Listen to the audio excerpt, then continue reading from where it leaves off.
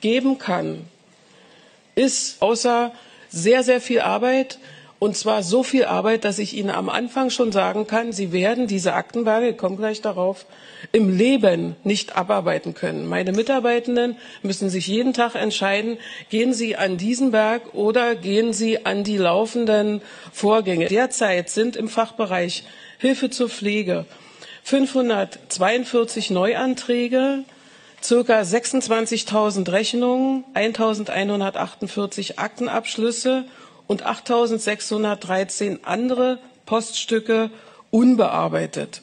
Das ist vor allen Dingen interessanterweise nur ein einziger Bereich aus den Leistungsbereichen. Ja.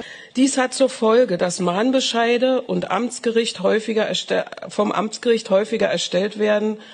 Und mittlerweile liegt der erste Vollstreckungsbescheid gegen das Bezirksamt Pankow vor. Man fragt sich natürlich, das habe ich mich auch gefragt, wie wie entscheidet man eigentlich, an welcher Stelle man in diesem Riesenberg und in, diesen Rückstands, in diesem Rückstandsdrama anfängt?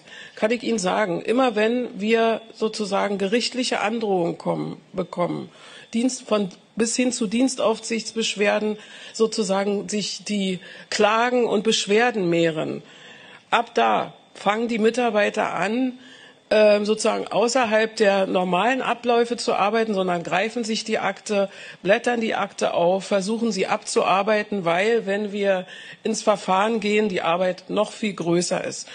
Derzeit werden bei einigen Sachbearbeitern Erstanträge bearbeitet, die bereits im April 2022 eingegangen sind. Aufgrund der Beschwerden und Untätigkeitsklagen wird die tägliche Post nur noch zum Teil geschafft. Die Mitarbeiter sind desillusioniert, sie haben nicht ausreichend Kraft, jeden Tag quasi wie durch Zauberhand wegzubeamen, dass sie auf riesigen Rückstandsbergen sitzen und diese Rückstandsberge, das ist das Allerfrustrierendste, muss ich mal wirklich sagen, werden nicht weniger.